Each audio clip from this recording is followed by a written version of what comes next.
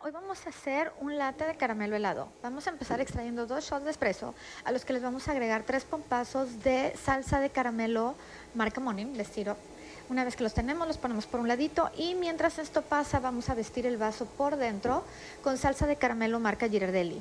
Lo vestimos bien para que se antoje ver todo este caramelo delicioso por dentro del vaso y después le ponemos hielo para que aguante su forma y no se resbale y quede todo el caramelo en la parte de abajo del vaso.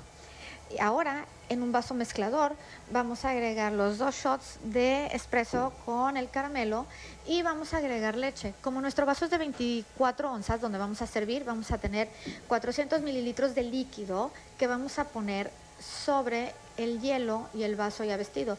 Así lo que estamos haciendo es evitar que el caramelo pierda su forma y se va a ver bien rico y se nos va a antojar un montón tomarnos este café. Vean nada más que deli.